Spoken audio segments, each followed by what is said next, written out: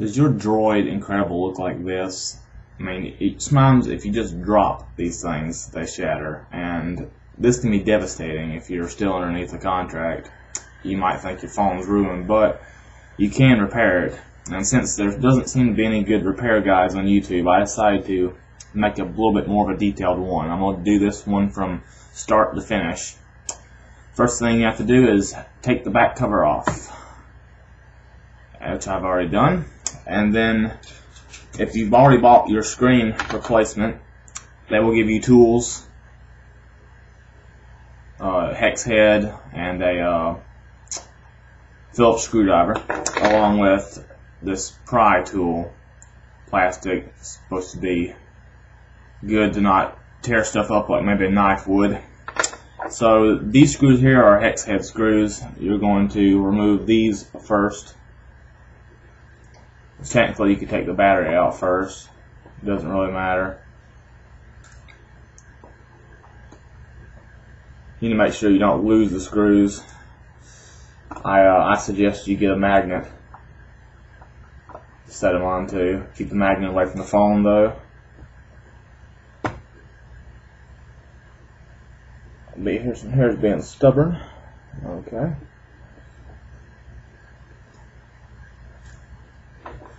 Get my magnet. Set it over here. Alright. Now, you're going to use your old tool to battery out. Set it off to the side. Now, these little plastic tabs right in here. There's that one. There's this one. This one. You're going to gently pry back on those to uh, release the orange part from the foam. Be careful because you can break these. This does take a little bit of time to do. take your time, don't go too fast. I have broke some of these tabs off for and it don't really matter if you break one tab off because the phone will stay together.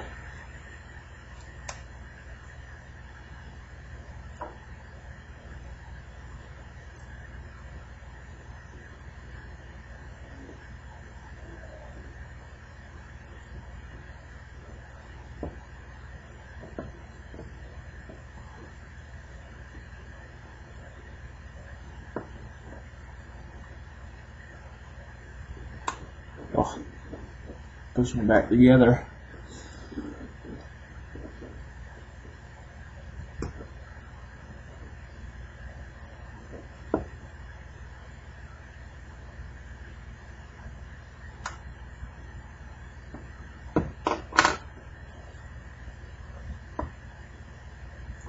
Once you get them removed, you want to gently pry. If one's still jammed, just use your tool to help remove it. So they can pop back in place as you pry around.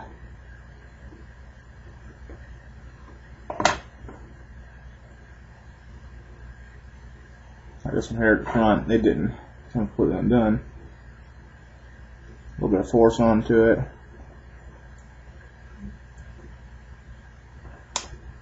And they come right up. Now, be careful up here, this top one here will kind of stick. You don't want to rip it. Just got to kind of mess with it. it. Comes out. Now, you're at the second stage. Now, the second stage, you're going to have just two screws to remove. You're going to need your Phillips screwdriver. There's one here, and there's one here. So you can go ahead and remove those now. Put that on your magnet.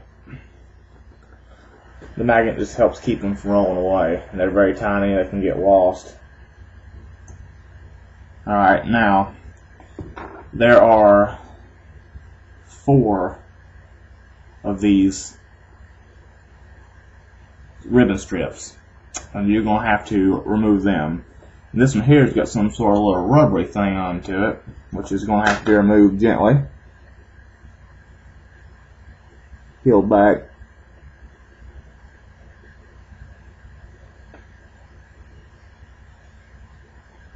I'm not really sure what it's on there for. Be careful with that. It's kind of in the way to get to your tab and all that. You have to take the, the yellow tape off of them. Now I used I used this.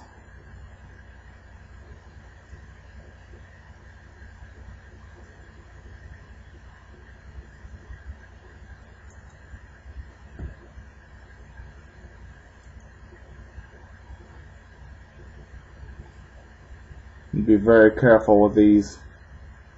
You don't want to rip any of these ribbon cables. You'll be in a pickle if you do that. This one here is going to be a little harder. Got nothing to get underneath.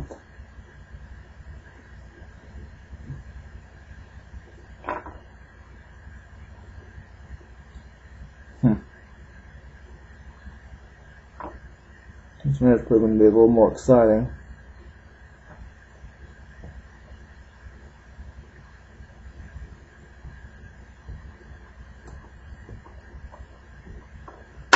Use the screwdriver maybe. A little more rough to peel it up with. Okay. Nope, ain't got enough yet. I'm doing this in real time to help show just what it takes to get this thing back together.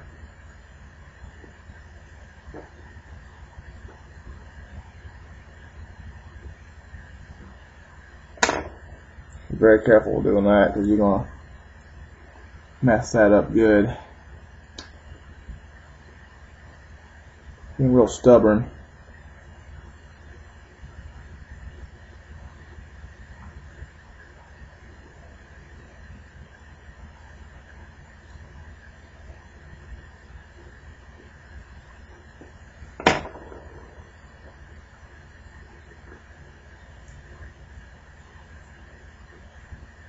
Right, that's peeled away. Now, these little clips, you have black tabs on all these things. Make sure you get them the right direction. Like, for instance, this one here, it goes up. You're going to be very careful with it. Just kind of pick at it like that, and see it'll, it'll come up real easy, and then your tab's free. And you can use your tool to pry it out with. This one here, it's going to go down. Oh, wait. It's going to go up too. There you go. If they don't come up easy, you're doing it the wrong direction. Then you just use your tool and pry at the edge of this. Which technically I'm to leave out until last. That going to come off of the board. This one here on the other side comes out easier. That. Not too bad. And these here, you just go up on their tabs, wink. Okay. And you get them out. This here, you want to do this. And then just gently take it out, set that off to the side. That's your touchpad. And then you're going to do this one too. Then now you've got all that done, you're going to lift up on the board. Gently, because this one here is still attached. Which we're going to lift on the opposite side of the board and pull it outward so that little thing will just fall out because that one's really hard to get in and out. See, when you just go up, this little tab will just come right out securely. Get out of the way. Now your board is off and you are on to step three. Okay, the next step is going to be a little bit more difficult. You've got two screws and you're going to go ahead and take them out first with your Phillips screwdriver. Put them on your magnet. This is the LCD right here. And it is actually sort of got glue behind it. It's uh, actually double stick tape, tape, sorry, that they use to take both this and this to hold it in the frame. And the tape is extremely sticky and you're going to have to use either this tool or your fingernail to remove it. And it, it's, it's difficult as all get out. It's not a lot of fun. And you think you might actually break the LCD from all the popping sounds you hear. But you do have to be careful, kind of work your way around the edge, all the way around it. And then once you get enough of the glue like unstuck from it, you're going to be able to peel it up easier. Just kind of pry back on the frame. It's actually quite durable, the frame is.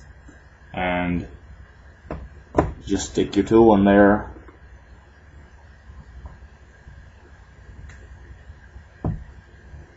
Pry it a little bit.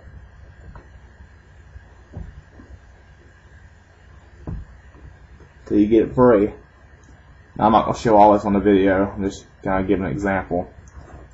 You can use your fingernail, and you I mean it's it's in there good. Because once you get it free from the tape, it's going to uh, it's going to fall out of there pretty well. Just got to go around.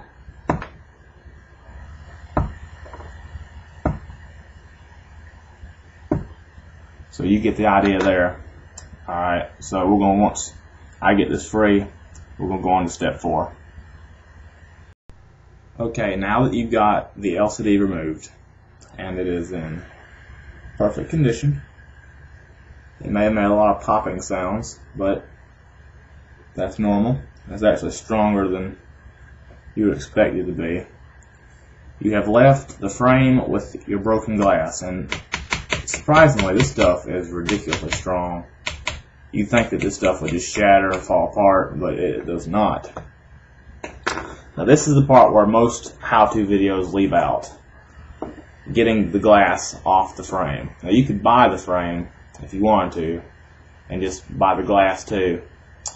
But if you want to save money because the frame is rather expensive, you're going to want to get the glass out yourself. Now you don't need to get a hammer and bust this out because that's just not going to work. Uh, what I did, I did I, I tried several things. One thing I tried was sticking glass over a warm oven, stovetop. Uh, that didn't work because I was too scared I was going to melt the plastic.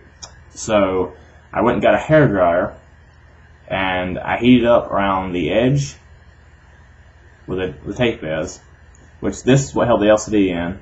You're to want to remove all this, all this tape. It goes all on the outside edge and you want to scrape all down through here with like a knife to get it down to the aluminum before you stick the new one in there.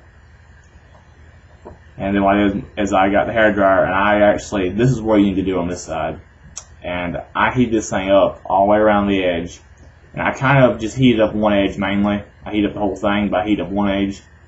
And I worked on one edge at a time and just kind of got my tool and went in there. But really the tool was kind of too thick. So I used my fingernail and just kind of got in there and pushed from the back side. Now, I don't know if this glass will ever shatter and get in your fingers, but it might be best if you're pushing like I like I do to wear gloves. Uh, and once you get it hot, you just kind of go in there and you kind of pull against a prying motion and push up from the bottom and just keep working at it. You can use the tool. You kind of slide down through there and uh, or a butter knife might do it. Just something skinny, and strong, and uh, just pry onto it. And you'd be surprised this glass. I mean, I, I, I pried until it actually shattered right here at the bottom, and this whole section here was left. And it's probably going to do that again because you pry from the top. And uh, when you use a hair dryer, you need to get this thing like almost so hot you can't even hang on to it. The whole section, it, it just get really hot and uh, after a few minutes of that, the, the glue on the double stick tape will get pliable and you can remove your glass section. So I don't really have to show you that on video, but you get the idea. If you rip it and this whole section here is left, you're going to need to get a knife like I did and you're going to need to pry out every last little piece of that. But be careful because you've got these heat sensitive buttons that you can mess up by using a knife and prying. So that's how you do that. You definitely want to use a hair dryer. But be careful, the frame is plastic, so I wouldn't pry too hard, but you can do it. Just push up from the bottom while you're prying. You should get that out.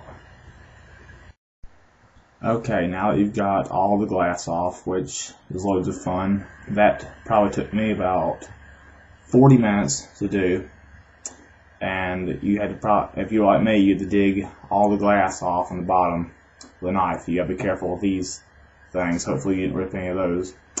Uh, you need to get this section here and this section here pretty clean with glue residue. I wouldn't worry too much about that.